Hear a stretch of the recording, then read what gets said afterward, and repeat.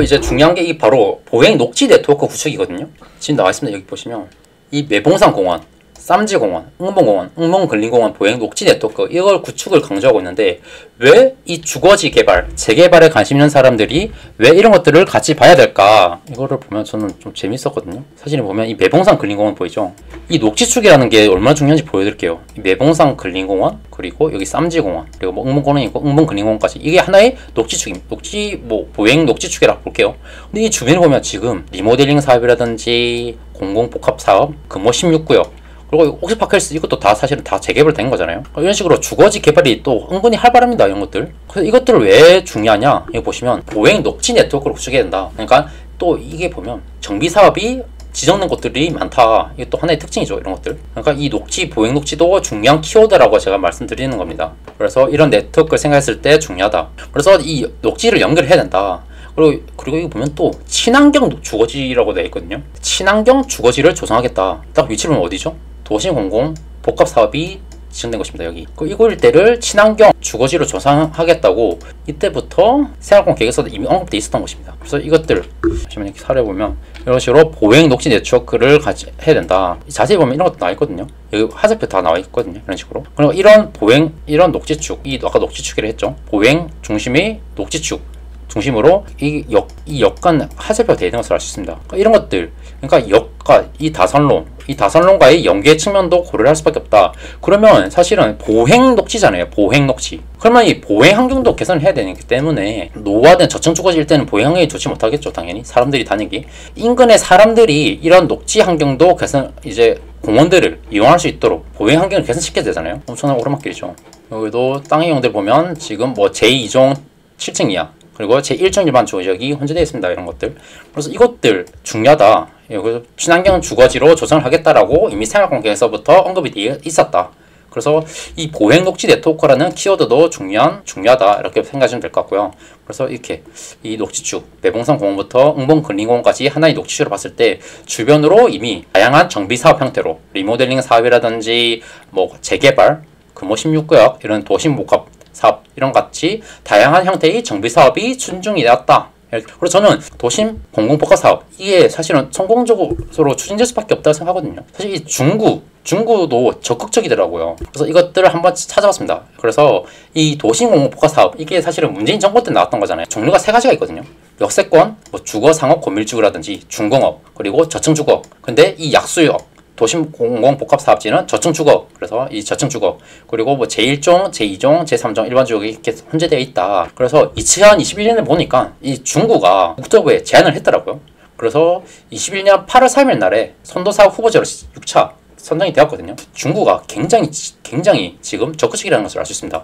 이거 제가 중구 공식 블로그거든요. 24년 8월 3일 이때 나왔던 건데 이 약수역 25일 만에 동의율을 70% 달성했다. 전문업체 없이 주민 단결과 구청 지원, 구 입장에서도 이곳 일대를 반드시 개발하고 싶한다. 그런 의지를 알 수 있었습니다. 구에서 너무 활발하게 움직이고 있더라고요. 뭐 70%를 했다.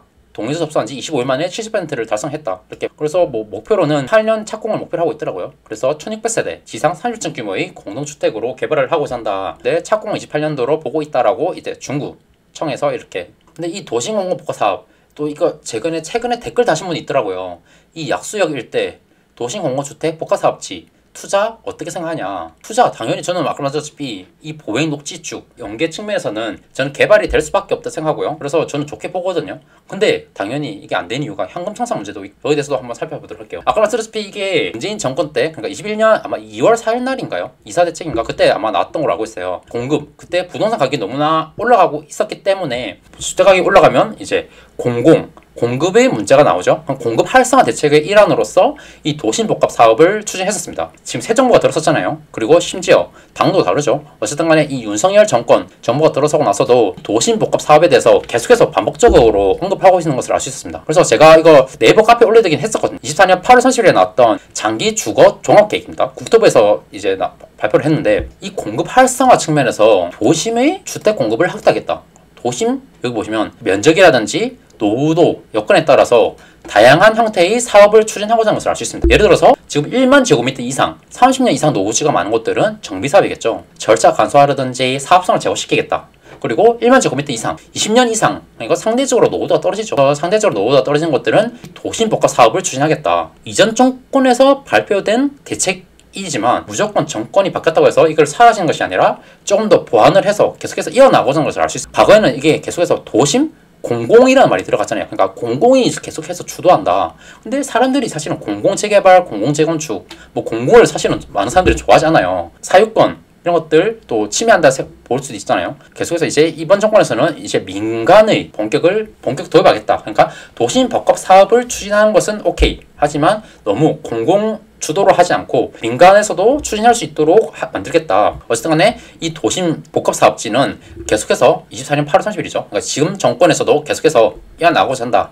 그리고 뭐 1만 제곱미터 이하일 때는 소규모 정비 사업이라든지 뉴빌리지, 뭐 모아텀이죠. 정비 사업은. 뉴빌리지는 솔직히 잘 모르겠네요. 뭐 계속 뭐 도시지상 같은 건데 일단 그렇습니다. 그래서 뭐, 뭐 노후계획 도시 정비 특별법이라든지 재정비 촉진법, 10만 제곱미터 이상 원도심 같은 경우는 재정비 촉진법 이런 것들 면적 사업 그 면적이라든지 노후 그 여건에 따라서 다양한 형태로 계속해서 정비 사업을 추진하겠다 이렇게 나와 있어서 도심 복합 사업은 계속해서 추진해오자 한다. 그래서 이때 내용을 좀 보면 기존에는 아까 말씀드렸듯이 문재인 정부 때는 이전 정부 때는 너무나 공공을 사랑했죠. 공공만 시행하던 도심 복합 사업을 이제 민간도 시행할 수 있도록 하겠다. 그래서 역세권이라든지 상업 지역 이런 것들을 창의적으로 복합 개발을 하겠다. 그래서 아까 도심이라고 하니까 이제 도심 주택 공급 활성화를 시키겠다. 공급 활성화 대책입니다. 그리고 영정률 뭐 기부 채납 이런 것들을 활용하겠다 이렇게 나와 있었고요.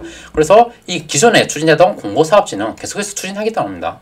그래서 노후도나 사업성이 부족한 것들은 이제 공공이 support 해주겠다 이렇게 나와 있었고요. 그리고 22년 8월 16일 날 때 또 윤석열 정권 첫 번째 부동산 공급 대책이거든요. 이때부터 사실은 여기서도 민간 도심 복합 사업을 신설하겠다고 나와 있었습니다.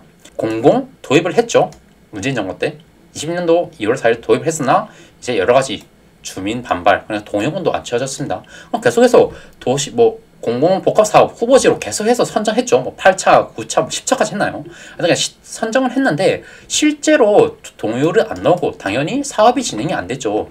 그렇기 때문에 이런 부장역이 LH 뭐 인력도 부족하기 때문에 이런 사업이 제대로 추진되지 않았다. 그래서 우리가 민간도 사업이 주체가 될 수 있도록 제도를 신설하겠다.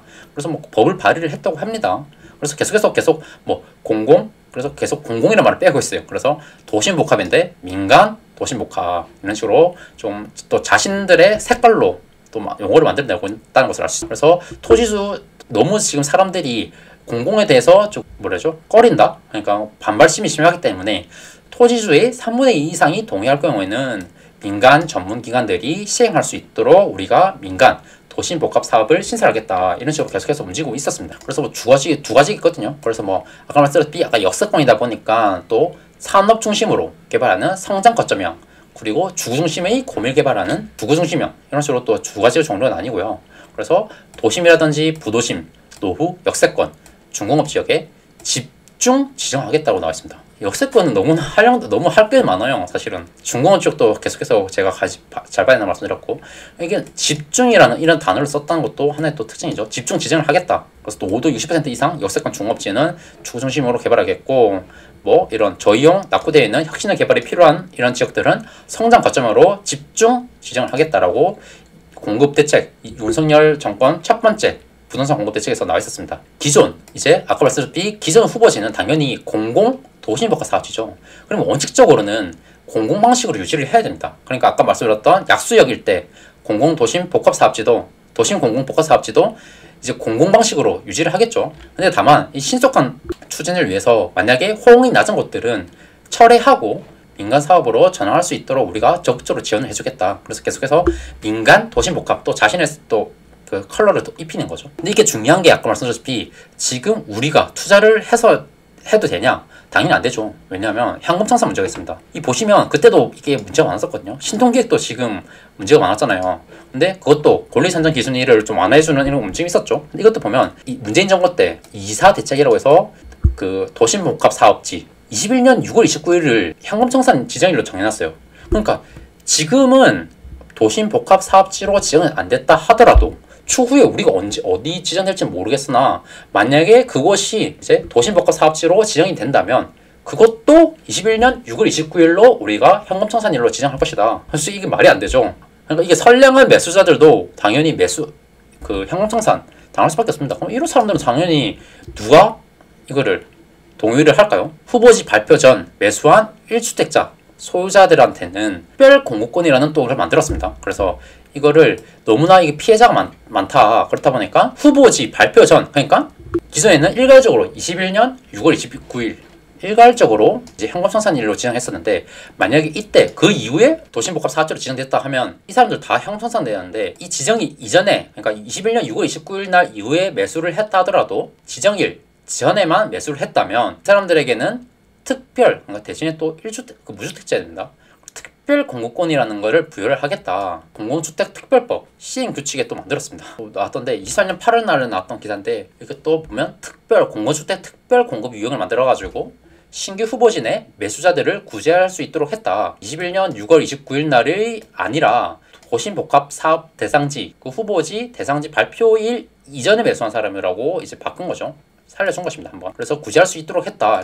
그래서 근데 다만 조건들이 있죠. 이런 것들 보면 아까 말씀드렸다시피 국토부 장관이 고시한 날 그러니까 도심복합 사업지로 이제 발표한 이전에 계약이 체결이 돼야 되고 소유권도 등기가 이전이 완료됩니다. 그 입주자 모집 공고 이게 추후에 도심복합 사업이 추진돼서 추진돼가지고 분양할 때까지 그때까지 무주택 세대 구성을 구질해야 됩니다. 사실은 이걸 고뇌할지는 사실은 잘 모르겠습니다. 그때까지 무주택 신분을 유지를 해야 되거든요. 어쨌든 간에 그렇게 일단은 이 골 현금 청산 기준일을 완화를 시켜줬다. 이게 첫 번째 특징이라고 보시면 됩니다. 그래서 보시면 이게 특별 공급 시행 규칙에 나와 있거든요. 이것도 보시, 보시면 됩니다. 그래서 실제로 보니까 특별 공급이라고 해서 특별 공급이라고 해서 좀 나와 있더라고요. 근데 보면 청년 그러니까 19세 이상 39세 이하일 경우는 무시적금 이하만 특별 공급할 수 있다는 규제가 있습니다. 또 이것도 단점이거든요.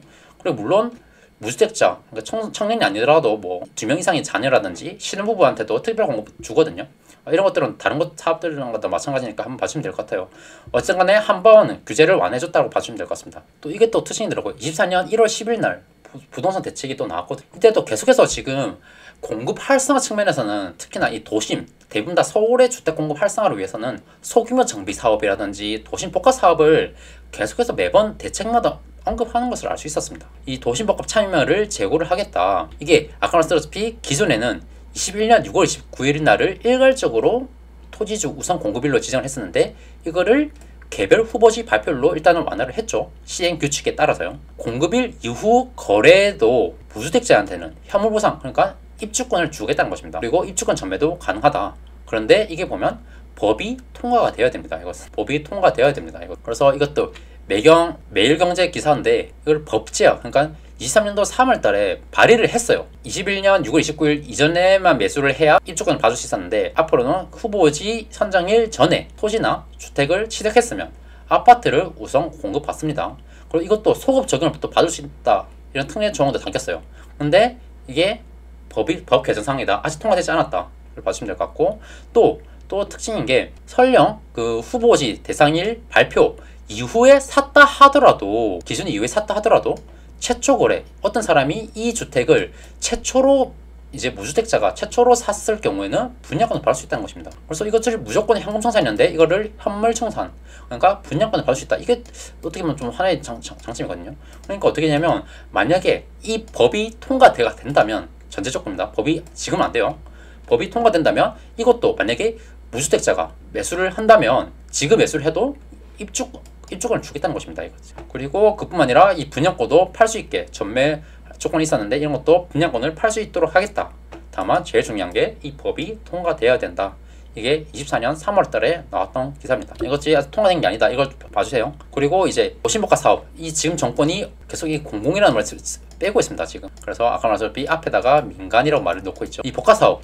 지금 정권에서도 할 수밖에 없습니다. 그래서 기존에는 아마 일몰 돼 있었는데 이걸 26년 12월로 연장을 했다고 합니다.